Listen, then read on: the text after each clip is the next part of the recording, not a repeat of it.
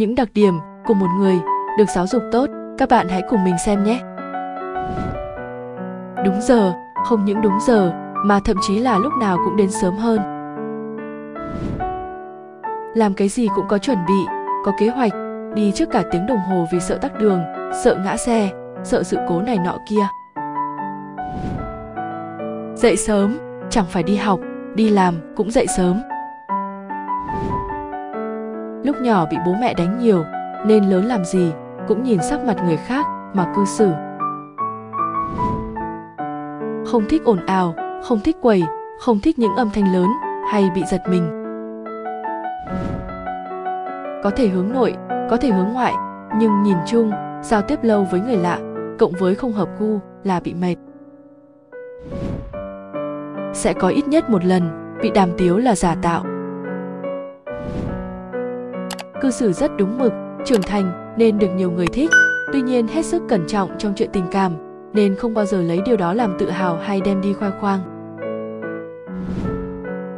Có nhiều ấm ức, nhưng hãy âm thầm chịu đựng, chứ không bô bô ra. Làm việc, có trách nhiệm, không phải việc của mình cũng có ý thức bao quát và giúp đỡ để đẩy nhanh tiến độ chung, tuyệt đối không có kiểu chỉ tay năm ngón có thể đã từng hướng ngoại, thích giao lưu kết bạn, nhưng sau đó thấy nhân sinh quan của người ta quá khác những gì mình được dạy bảo, tự mình trở thành đứa khó tính. Chỉ tranh luận vì công việc chung, chứ chưa bao giờ có nhu cầu thể hiện là mình đúng. Ăn uống, rất nhìn trước nhìn sau, không nhồm nhoàm không ăn miếng cuối, ăn xong, hay tranh rửa bát dù trong lòng không muốn lắm đâu. Có thói quen mời trước khi ăn vì lịch sự và vì không quen ăn một mình trước mặt người khác. Đi ăn chung hay là người lật thịt, thả rau, cắp đồ cho mọi người. Nghĩ cho người khác nhiều hơn bản thân mình. Giúp đỡ người khác vì bản thân muốn thế và bố mẹ dạy mình thế, chứ chưa từng có suy nghĩ rằng tao giúp mày hôm nay, sau này mày buộc phải giúp lại tao. Nhìn thấy người ta phát triển thì mừng cho họ không thấy người sang bắt quàng làm họ, không ghen tị.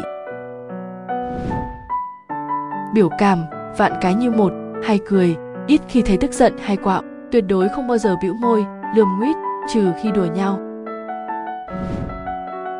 Có vấn đề về lòng tin, không tin bất kỳ ai, nên drama thì cũng sẽ tham gia nhưng không nhiệt tình lắm. Thà mất tiền, chứ không muốn cãi cự đôi co nhiều có rất nhiều chuyện xùy xùy cho qua nhanh nhanh rồi về nhà ngủ. Đã từng gặp thất bại rất nhiều lần, nhưng tính cách vốn không thích kể lể, nên hầu như chẳng ai biết. Không nói quá nhiều về kinh nghiệm của mình, luôn tự nhủ, mình chẳng là ai cả. Làm gì cũng có mục tiêu rõ ràng, vì từ bé, đã bị rèn như thế. Dù đầy đủ hay thiếu thốn vẫn mang một nỗi sợ cố hữu, đó là sợ bị vay tiền. Tuy nhiên, ai hỏi mượn thì vẫn giúp người ta nếu có.